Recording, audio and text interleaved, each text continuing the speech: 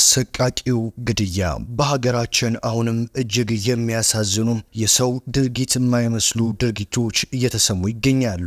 ዘግናኝ የሆነም ኢሰብአዊ ድርጊት ሰሞኑ መፈጸሙ ደግሞ በበርካቶች ዘንድ መነጋገሪያ ሆኗል። እንደውም በርካቶች ይህ ፊልም እንጂ እውነት አይመስልም ሲሉም ተናግረዋል። በሕይወት ትኑር ትሙት ያላወቀውን የገዛ ባለቤቱን የቀበረው ግለሰብ ከምን ደረሰም?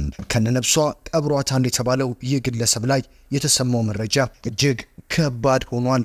በዝርዝራችን ታደምጡታላችሁም። ውድ የጉራማይሌ ሚዲያ አድማጭ ተመልካቾቻችን የዕለቱን ቀጠሯችንን ጠብቀን በኢትዮጵያ የተሰሙ እጅግ ወሳኝ ወሳኝ መረጃዎችን ወደ እናንተ ለማድረስ ሰዓታችንን ጠብቀን ተገኝተናል። ታዲያም ለቻናላችን አዲስ የሆናችሁ በሙሉ subscribe ና የደወል ምልክቷን በመጫን ቤተሰብ እንድትሆኑ በአክብሮት እንጋብዛችኋለን። ዛሬ የተሰማው መረጃ የበርካታ ሰዎችን ልብ የቀጠፈና ኢትዮጵያውያን በውኑ ወዴት እየሄዱ ነው የሚለውን ጥያቄ በበርካቶች ዘንድ በድጋሚ ያስነሳ ሆኗል። እኛም የጉራማይሌ ሚዲያዎች ከዚህ ቤተሰብ ያገኘነውን መረጃ ለውድ አድማጭ ተመልካቾቻችን ለማድረስ ታዲያም በዛሬው ዕለት ቀጠሯችንን አክብረን ተመልሰናል። ሚስቱን ከነነፍሱ ቀብሯታል የተባለው ይህ ግለሰብ ከምን ደረሰም? ፖሊስ ያወጣው መረጃስ ምን ይመስላል? የእውነት እቺን ግለሰብ በእንደዚህ አይነት ጭካኔ ለመግደልስ ምን አነሳሳውም? እነዚህን ጉዳዮች በዛሬው ጥንክራችን የምንነግራችሁ ይሆናል። ይደመጣል።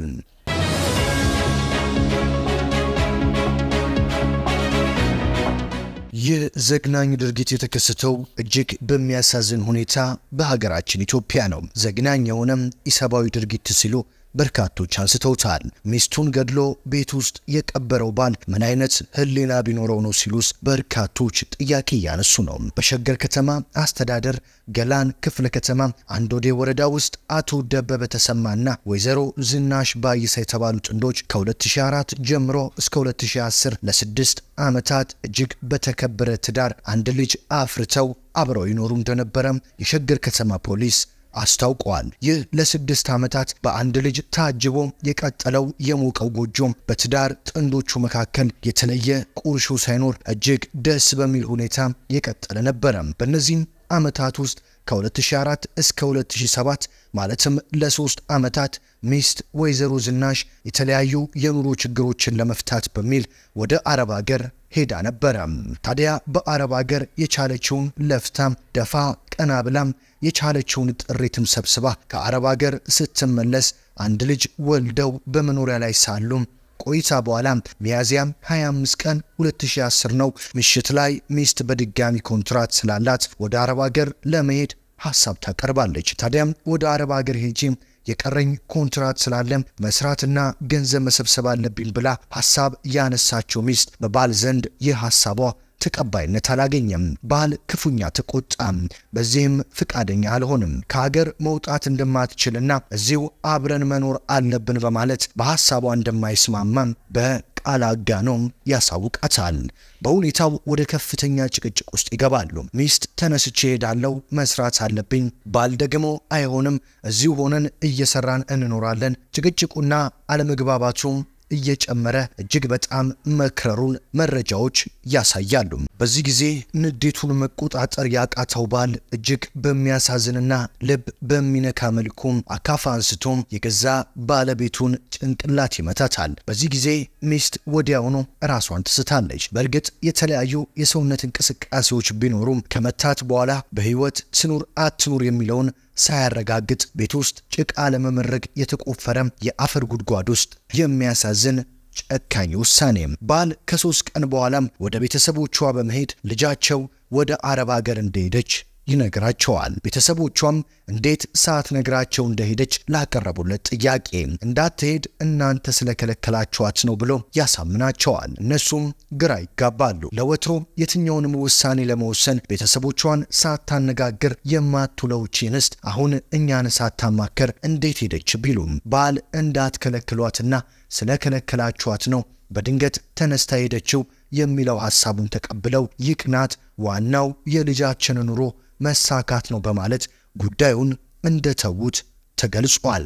በዚህ ሁኔታ ግን ለስድስት ዓመታት ያህል ቤተሰቦቿ ስለ እሷ ምንም አይነት መረጃ ባለማግኘታቸው ተጠራጥረው ባልን ይጠይቁታል። ግን እዚህ ጋር በርካቶች ጥያቄ ያነሳሉ። እቺ ልጅ ተገድላ ከተቀበረች ስድስት ዓመት አልፏል። በዛ ስድስት ዓመት ውስጥ ባል ምን አይነት ህይወት በምን አይነት የህሊና ወቀሳና የነፍስ እረፍት ማጣት ውስጥ ነው የኖረው? ቤተሰቦቿስ ይህን ያህል ጊዜ ልጃቸው ስትጠፋም እንዴት ለፖሊስ አያሳውቁም? ይህ የበርካቶች ጥያቄ ነው። በዚህ ጊዜ ከስድስት ዓመታት በኋላ የተጠራጠሩት ቤተሰቦቿ ባልን ይጠይቁታል። ባልም እሱ ጋር እንደምትደውልና የቤትና የመኪና መግዣ እስኪሞላላት ወደ ሀገር አልመለስም እንዳለችው ለቤተሰብ ይናገራል። ቤተሰቦቿ ግን በሁኔታው ጥርጣሬ ውስጥ ገቡ። እንዴት ለስድስት ዓመት ያህል ጊዜ ልጃችን ዝም ትላለች ሲሉም ተረበሹ። ቤተሰቦቿ በሁኔታው በጥርጣሬ ውስጥም ስለገቡ ለፖሊስ ያመለክታሉ። ፖሊስም ጉዳዩን ለማጣራት ኢሚግሬሽንና ዜግነት ምዝገባ አገልግሎት ያመለክታል። በዚህም ወይዘሮ ዝናሽ ወደ ሀገር ውስጥ መመለሷን እንጂ ከሀገር መውጣቷን የሚያመላክት መረጃ እንደሌለ ለፖሊስ መረጃው ይደርሳል። የዚህን ጊዜ ነው ከፍተኛ ድንጋጤ በፖሊሶቹም በቤተሰብም ዘንድ የተፈጠረው። እቺ ከሀገር የገባች እንጂ ከሀገር ተመልሳ እንደወጣች መረጃ ያልተገኘባት ልጅ ባል አረብ ሀገር ሄዳለች ብሎ መዋሸቱን ፖሊስ ደረሰበት። ወዲያውኑ ፖሊስ በቀጥታ ባለቤቷን በቁጥጥር ስር አውሎ ምርመራና ማጣራት ይጀምራል። አቶ ደበበ ሕሊናውንና የፖሊሶችን የቤተሰቦቿን ጥያቄ ሊቋቋም ስላልቻለ አቶ ደበበ ሚስቱን ለስድስት ዓመታት ቆፍሮ መቅበሩንና ቤተሰቧን ሲያታልል እንደነበረ ቃል ይሰጣል። በዚህም መሰረት የግለሰቧ አስክሬን ከተቀበረችበት ከስድስት ዓመታት በኋላ ተቆፍሮ ሲወጣ ስጋው አልቆም አጥንቷ ነበር የቀረው። የኦሮሚያ ፖሊስ የወንጀል ምርመራ ክፍል ክትትል በማድረግ ለጳውሎስ ሆስፒታል ፓቶሎጂስቶች አስክሬኑን እንዲመረምሩ በመደረጉም የአስክሬን ምርመራው ለፖሊስ ይደርሰዋል። በዚህ ጊዜ ነገሮች ሁሉም ግልጽልጽ ሲሉ ባል ገድዬ ቀብሬያታለሁ ሲልም አመነም። ይህ እጅግ አሳዛኝ ድርጊት ኢትዮጵያዊ የፈጸመው ነው የሚባለውን ማመን በእጅጉ ይከብዳል ሲሉ መረጃውን ያደረሱን የፖሊስ አባላትም ይናገራሉ። የሸገር ከተማ ፖሊስና የገላን ከተማ ፖሊስ ባደረጉት ምርመራ ባል ጥፋተኛ መሆኑ በመረጃ በመረጋገጡ የምርመራ መዝገቡን ለሸገር ከተማ አቃቤ ሕግ ተልኳል። አቃቤ ሕግም በአቶ ደበበ ላይ ከባድ የግድያ ወንጀል ክስ መስርቶበት ጥፋተኛ ሆኖ በመገኘቱም ተከሳሽ ደበበ ተሰማ በዕድሜ ልክ እስራት እንዲቀጣ መወሰኑን የሸገር ከተማ አስተዳደር ከፍተኛ ፍርድ ቤት መወሰኑን የሸገር ከተማ አስተዳደር የሕፃናትና ሴቶች ጉዳይ ጽሕፈት ቤት ኃላፊ ኮማንደር ረቢሱ ደቻሳ ጨምረው ተናግረዋል።